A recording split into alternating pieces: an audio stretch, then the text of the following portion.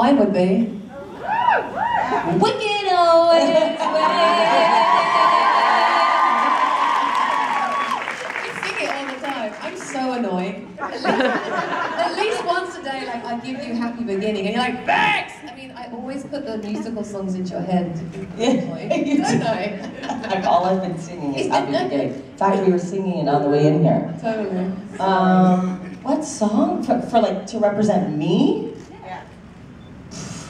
Jeez. Walking into a room. Uh, oh, probably Beastie Boys. Um, uh, the Brook. Uh, Sleep in Brooklyn. yeah, No Sleep Till Brooklyn.